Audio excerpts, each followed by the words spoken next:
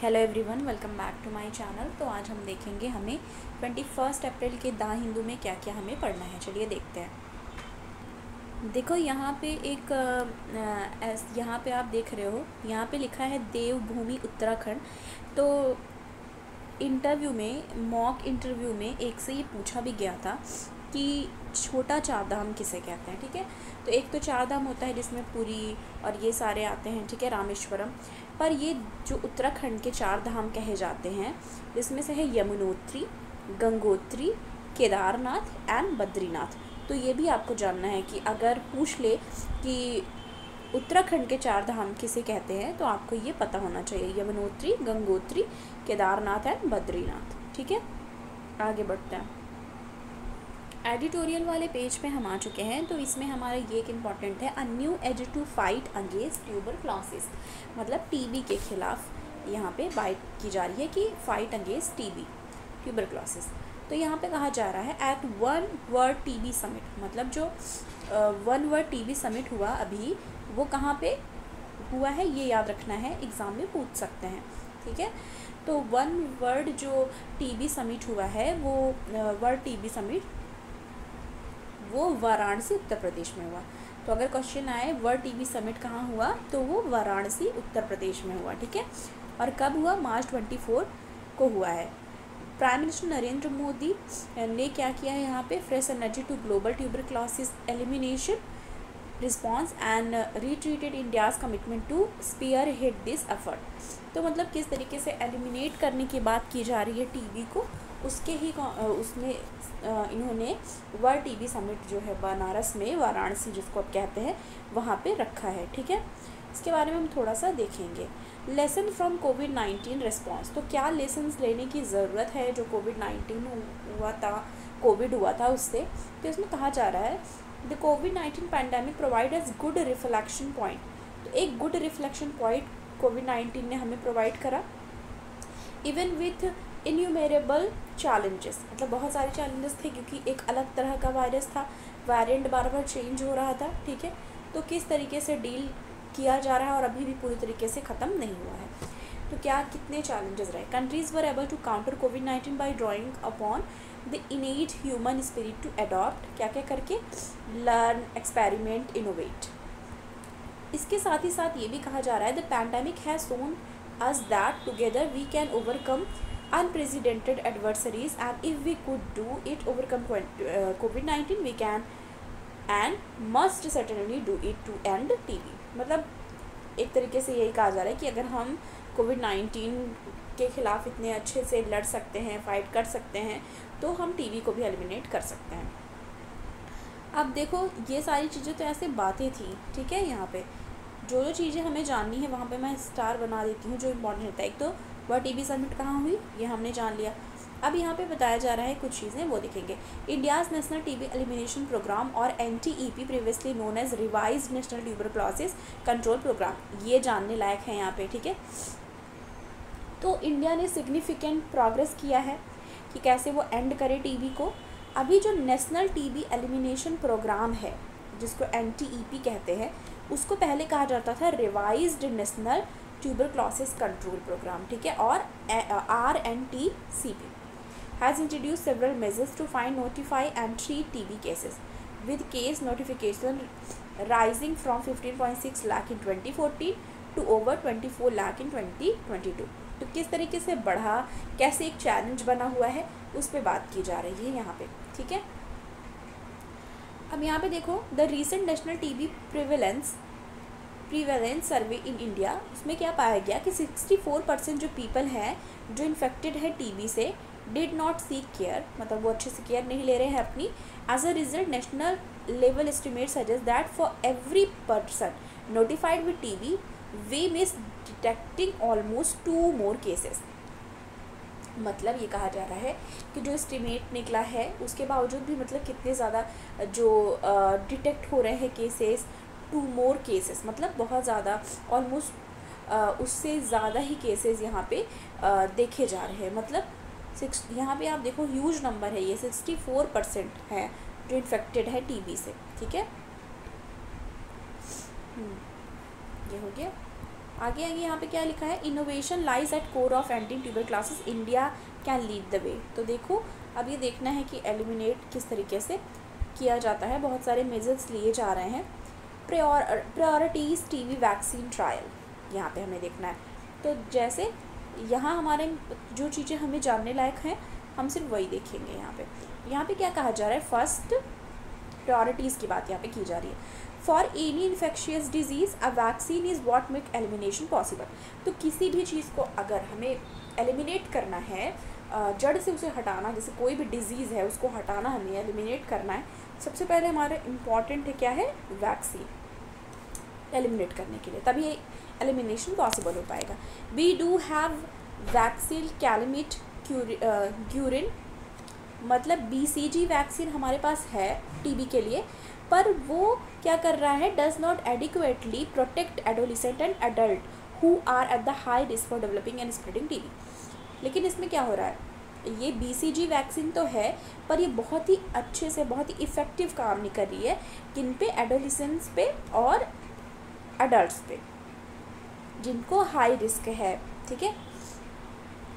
एक एक चीज़ और है वाइल कोविड नाइन्टीन वैक्सीन वो develop within a year we must prioritise and pick up the pace for find an effective T vaccine मतलब ये कहा जा रहा है कि जैसे हमने एक साल के अंदर कोविड वैक्सीन बना दिया था, याद है इंडिया ने किस तरीके से कोविड वैक्सीन बना दिया? ऐसा कहा जा रहा है कि इस तरीके से जैसे उसको प्रायोरिटाइज उस समय बहुत ज़्यादा प्रायोरिटी थी क्योंकि बहुत ज़्यादा डेथ हो रही थी तो सबका ध्यान उसी पे था तो बहुत ही जल्दी वैक्सीन जैसे तैयार कर दी गई। ऐसे कहा जा रहा है कि टीबी के लिए भी आ, करना ज़रूरी है find an effective TB vaccine की वैक टीबी वैक्सीन भी ऐसी बनाई जाए जो बहुत ही ज़्यादा इफ़ेक्टिव हो।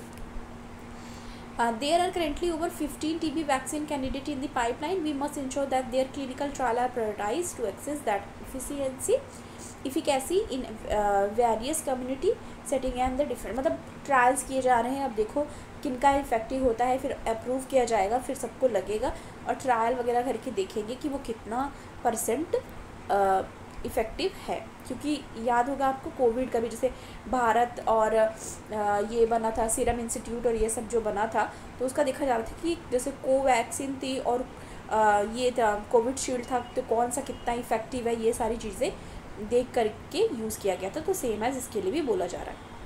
अब यहाँ पे कहा जा रहा है with its G twenty presidency ठीक है India and other historical opportunity to build a global health care architecture मतलब ये कहा जा रहा है कि इस बार आपको पता है जी ट्वेंटी की प्रेसिडेंसी हमारे पास है तो ये कहा जा रहा है कि अगर हमारे पास ये global sorry G twenty presidency है तो हम ग्लोबल हेल्थ केयर आर्किटेक्चर जो ग्लोबल हेल्थ केयर आर्किटेक्चर है, उसको हम क्या कर सकते हैं? इंडिया क्या कर सकती है कि एक हिस्टोरिक अपॉर्चुनिटी है उसके पास, वो बिल्ड कर सकती है ग्लोबल हेल्थ आर्किटेक्चर को।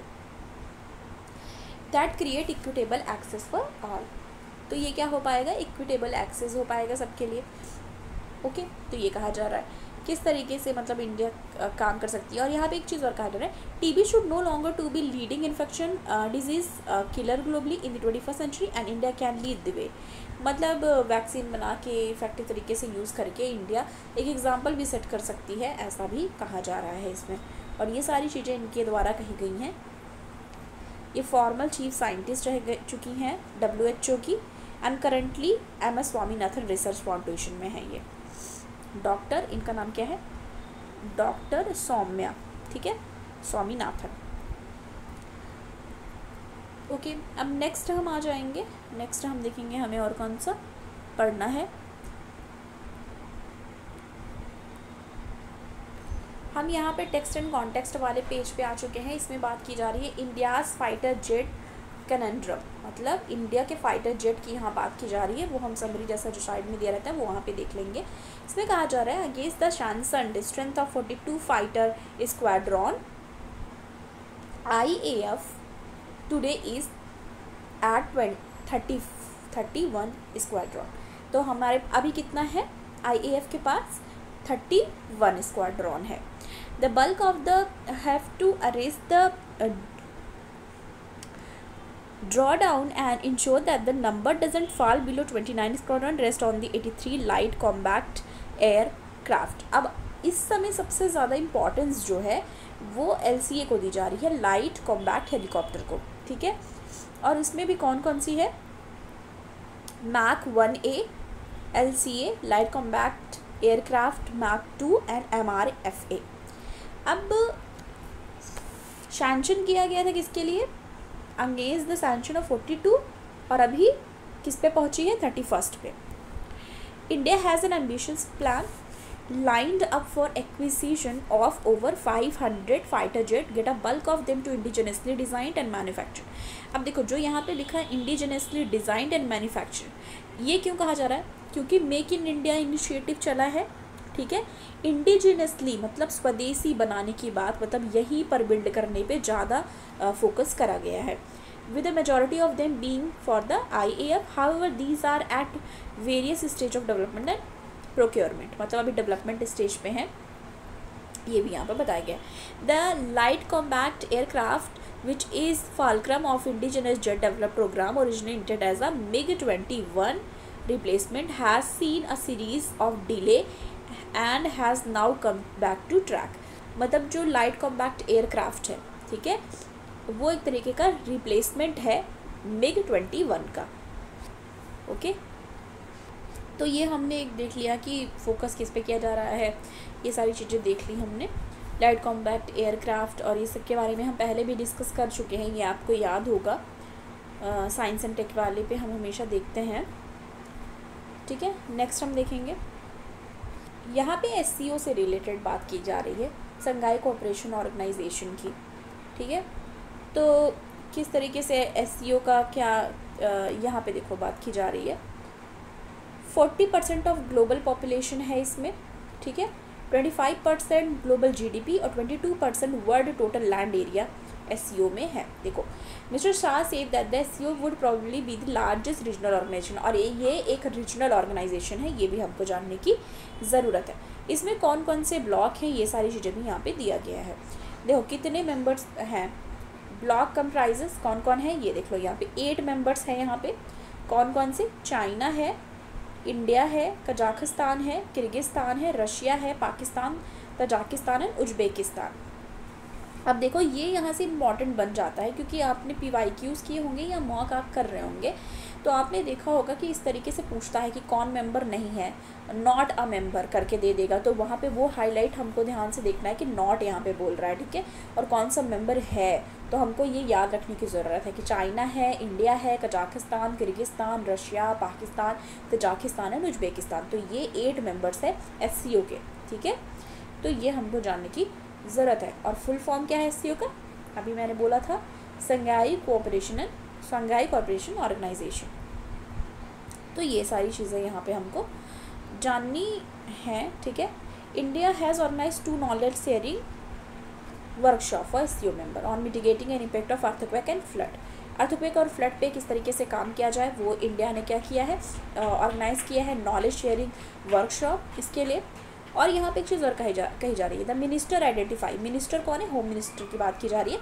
Minister identify five major area, five major area minister ने क्या किया है? आइडेंटिफाई किया है एससीओ के लिए। कौन कौन से हैं वो? ये प्रायोरिटी एरिया देखो, अभी मैं फिर से वही बोलती हूँ बार बार बोलती हूँ, जब भी कोई भी पढ़ता है ना तो वो दो चीज़ें फॉलो करता है। एक तो पहले स्टार्टिंग आप शुरू कर रहे हो तो सिलेबस और पी वाई की दो ही चीज़ें हैं सोर्स आपके, आपको जिससे पता चल पाएगा कि किस तरीके के क्वेश्चन आते हैं। तो आपको पहले तो एक वे पूछता है कि अगर कोई है कि उसमें मेंबर कौन है इंडिया इसका पार्ट है कि नहीं डायरेक्ट नहीं पूछता इंडिया पार्ट है कि नहीं, पूछ लेगा India is not a member या ऐसे घुमा के, ठीक है?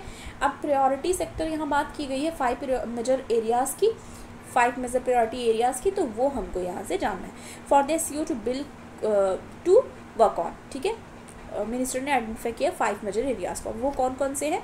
एक है confidence build confidence building effort in Asia पहला। दूसरा collective responsibility approach expanding cooperation in communication and information sharing identification of priority areas and use newly develop technology in disaster resilience capacity building ठीक है? तो ये चीज़ें हैं जो five priorities area है। तो यहाँ से आपको जो फाइव प्रायोरिटी एरिया है, ये हमारा इंपॉर्टेंट है और ये कितने मेंबर हैं इसमें, ये इंपॉर्टेंट है। बाकी जो छूटा होगा, वो हम शॉर्ट नोट में देख लेंगे, ठीक है? तो ये चीज़ें यहाँ पे है। अब यहाँ पे एक चीज़ और ये देखो, दिया हुआ है। Faith in children vaccine has gone up in India says UNICEF अब कोई कमेंट कमेंट किया था, वो बोल रहा था कि क्या इतना सफिशियंट है। तो देखो, जो दा हिंदू में जितने भी इंपॉर्टेंट होते हैं वो हम कवर करते हैं। अब क्या होता है कि कई बार अगर कोई भी चीज़ रिपीटेड रहती है तो वो एडिटोरियल में भी उसका एक्सप्लेन कर देते हैं वो लोग तो वो भी हम डिस्कस कर लेते हैं। पर दा हिंदू में जितना ज़रूरी है, उतना हम देखते ही देखते हैं। ठीक है? तो उसकी कोई टेंशन नहीं है। Faith in Indian vaccine has gone up in India says UNICEF अब इसकी बात करेंगे, इसमें क्या कहा जा रहा है? China India and Mexico that is three out of fifty five countries studied for popular perception of the importance of the vaccine for children तो कौन से हैं? तीन ऐसे हैं। चाइना इंडिया मैक्सिको कितने में से? फिफ्टी फाइव कंट्रीज़ में से। Three out of fifty five countries में ऐसे हैं जिन्होंने क्या किया है? ठीक है? तो इन्होंने क्या किया है कि एक उनका अपना स्टडी किया है पॉपुलर परसेप्शन का कि क्या इंपॉर्टेंस है वैक्सीन का चिल्ड्रन के लिए। ठीक है? Show showed improvement as per data collected by the vaccine confidence project जो कि London school of hygiene and tropical medicine के द्वारा किया गया एंड पब्लिश्ड किया गया है किसके द्वारा? यूनिसेफ के द्वारा थर्सडे को। उसके कॉन्टेक्स्ट में ये बात की गई है। तो ये पहली वाली लाइन जो है, ये हमारा थोड़ा सा इंपॉर्टेंट है। ठीक है? This is this is when vaccine confidence mark a decline in over third of this studies countries decline देखा गया है। कहाँ कहाँ पे? Republic of Korea Papua New Guinea और घाना सिंगल जापान यहाँ पे डेक्लाइन देखा गया है। वैक्सीन में कॉन्फिडेंस की। मतलब वैक्सीन कॉन्फिडेंस में डेक्लाइन देखी गई है यहाँ पे। अब वैक्सीन हेजिडेंस हेजिटेंसी एक वर्ड है। तो क्या पता ये वर्ड यूज़ करके मेंस में क्वेश्चन बना सकते हैं वो? वैक्सीन हेजिटेंसी, ठीक है? वैक्सीन हेजिटेंसी मतलब हेजिटेट होते हैं तो उसी की बात की जा रही है। अभी वैक्सीन हेजिटेंसी की। अब यहाँ पे कहा जा रहा है, the report warned of report one minute हाँ तो यहाँ पे कहा जा रहा है, report one of growing threat of vaccine hesitancy due to factor such क्या क्या फैक्टर है? Misleading information and declining trust in vaccine efficacy मतलब कि जो एक मिसट्रस्ट हो गया है, उसकी वजह से डिक्लाइन देखने को मिल रहा है। उसकी इफिशियंसी या इफिकेसी इसकी वजह से देखने को मिल रहा है। UNICEF India today release the agency global flagship report कौन सी रिपोर्ट निकाली है? The state of world children 2023 इसमें क्या कहा गया फॉर एवरी चाइल्ड वैक्सीनेशन मतलब इन्होंने नाम रखा फॉर एवरी चाइल्ड वैक्सीनेशन किसके द्वारा निकाल के? अगर इस तरह का क्वेश्चन आएगा तो हमको वहाँ सीधे सीधे जान जाना है। यूनिसेफ की बात की जा रही है, ठीक है? UNICEF India okay childhood immunisation के लिए ये किया गया है। तो ये याद रखना है यहाँ पे। यहाँ कहा जा रहा है the decline in vaccine confidence globally come amid the largest sustain backslide in childhood immunisation in thirty year fuelled by COVID nineteen pandemic अच्छा आपको ये भी याद होगा, जब कोविड नाइन्टीन पैंडमिक था तो उस समय भी बात की गई थी चिल्ड्रन के लिए वैक्सीन की और वहाँ पे फिर बहुत ज़्यादा इम्पोर्टेंस रखी गई, ठीक है चिल्ड्रन के लिए।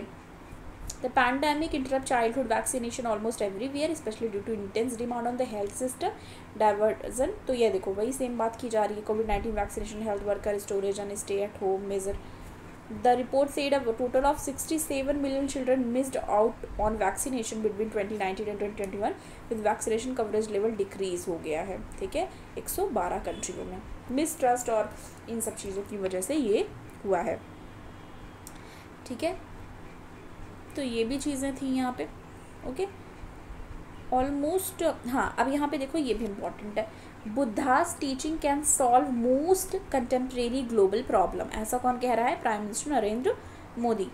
तो यहाँ पे देखो क्या कहा जा रहा है। ओके, यहाँ पे देखते हैं। Prime minister Narendra Modi on Thursday said the world was facing क्या फेस कर रहा है वर्ल्ड बहुत सारे चैलेंजेस जैसे कि most challenging time of century due to war economic crisis terrorism climate change तो वॉर की वजह से इकोनॉमिक क्राइसिस की वजह से टेररिज्म की वजह से क्लाइमेट चेंज की वजह से वर्ल्ड जो है, वो बहुत सारे चैलेंजेस फेस कर रहा है। वीडियो लंबी हो रही है, उसके लिए sorry and all this contemporary global challenges can be addressed through teaching of Buddha तो ये कह रहे हैं, ये सारी चीज़ें जो हैं ग्लोबली ग्लोबल जो चैलेंज है, उसको क्या किया जा सकता है? डील किया जा सकता है एड्रेस किया जा सकता है। अगर हम बुद्धा की जो टीचिंग है, उसको हम देखते हैं और उन जो बहुत सारे सोल्यूशन बताए हैं, उस पर हम फोकस करते हैं तो हम इसको डील कर सकते हैं। इनाग्रेटिंग ये सबसे ज़्यादा इंपॉर्टेंट लाइन है हमारी। Inaugurating the first global Buddhist summit ये लाइन याद रखनी है फ़र्स्ट ग्लोबल बुद्धिस्ट समिट हुई है इंडिया में, ठीक है? और यहाँ पे सबसे ज़्यादा तो ये याद रखना कि फ़र्स्ट हुई है ये, अभी नहीं हुई है फ़र्स्ट पहली बार हो रही है ग्लोबल बुद्धिस्ट समिट ठीक है? Mister Modi said Buddha preached abandoning war defeat and victory over eternal peace तो क्या क्या सिखाया बुद्धा ने? जिसकी वजह से हम अपनी जो अभी करंट सिचुएशन है, उससे हम कैसे लड़ सकते हैं या उनके टीचिंग से हम कैसे सीख सकते हैं? A better and stable world could be achieved only by considering the nation dealing with the sacrifice of the resources it is the need of our that priority of every person अब यहाँ पे क्या कहा जा रहा है? Priority की बात की है every person nation should be the interest of the world कि नेशन के बारे में सोचना इंटरेस्ट होना चाहिए मतलब नेशन के बारे नेशन को, ठीक है? फ़र्स्ट प्रायोरिटी पे रखना चाहिए priority of every person and the nation should be the interest of the world कि हर एक इंसान की और नेशन की जो इंटरेस्ट है, उसको ध्यान में रखते हुए चलने की ज़रूरत है। Path of Buddha is path of future क्या बोला गया है? Path of Buddha is path of future and path of sustainability तो ये सारी चीज़ें हम आंसर राइटिंग में भी अपने आ, लिख सकते हैं ठीक है? कि पाथ ऑफ़ बुद्धा जो है वो पाथ ऑफ़ फ्यूचर है and the path of sustainability had the world followed Buddha teaching it would not have focus the problem of climate change बोल रहे हैं कि अगर बुद्धा की टीचिंग को हम फॉलो करते तो हम अभी जो फेस कर रहे हैं क्लाइमेट चेंज को वो हम ना फेस करते ठीक है? The prime minister gave the example of mission life इन्होंने एग्ज़ाम्पल भी दिया है मिसल लाइफ का, ठीक है? मिसल लाइफ की बात की है। अब ये बहुत ज़्यादा इंपॉर्टेंट है, हम कई बार डिस्कस कर चुके हैं लाइफ के बारे में, ठीक है? Initiative by India which he said was influence by inspiration of Buddha और उन्होंने बोला कि ये इंस्पिरेशन लेकर के जो बुद्धा की इंस्पिरेशन है, उनसे उनसे इन्फ्लुएंस्ड है ये इन्फ्लुएंस्ड है मिसल लाइफ ठीक है? The inspiration behind India achieving the recent global landmark in a various sector was the Buddha the prime minister add उन्होंने बोला कि किस तरीके से बुद्धा की टीचिंग काम आ रही है और चीज़ें अच्छी हो रही हैं और आगे बढ़ रही हैं ठीक है? तो ये भी यहाँ पे है। ये सारी चीज़ें हमने देखी यहाँ पे। हम्म, तो ऑल हम सारा अभी ऑलमोस्ट डिस्कस कर चुके हैं। अब यहाँ पे एक है SpaceX uncrewed starship explode shortly after lift off SpaceX के बारे में हमने साइंस एंड टेक वाले में एक बार डिस्कस ऑलरेडी किया था। तो starship the most powerful rocket है ever built explode during the first flight on the Thursday but Elon Musk congratulated his SpaceX team SpaceX किसका है, आपको पता ही है, ठीक है? An exciting test of the spacecraft design to send astronaut to moon Mars and beyond अब देखो सबसे ज़्यादा यहाँ पे ये वाली लाइन याद रखने की ज़रूरत है। ठीक है? एस्ट्रोनॉट को भेजने की बात की जा रही है मून पे। ठीक है? तो ये यहाँ पे बात की गई है। और uh, SpaceX said that with a test like this, success come from what we learn and today test will help us improve starship reliability as spacex seeks to make life multi planetary तो मतलब कुल मिला के हमको यहाँ से ये जानना है स्टार्टशिप क्या है एस्ट्रोनॉट को भेजना, जैसे मून पे मास पे, वहाँ सब भेजने की तैयारी है एक तरीके से। और यहाँ पे एक चीज़ और कही जा रही है कि NASA has pick the starship spacecraft to ferry astronaut to moon in late twenty twenty five तो मतलब नासा ने क्या किया है? एक तरीके से जो स्टारशिप एयर स्पेस क्राफ्ट है उसमें उन, उनके ज़रिए उसके ज़रिए ये क्या करना चाहते हैं? एस्ट्रोनॉट्स को मून तक भेजना चाहते हैं और ऐसा ये करने वाले हैं लेट 2025 तक।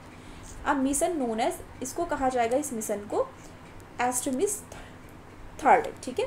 एस्ट्रीमिस थर्ड एस्ट्रीमिट फ़र्स्ट और सेकेंड के बारे में ऑलरेडी आपने पढ़ा होगा। तो इसको एस्ट्रीमिस थर्ड कहते हैं। ठीक है?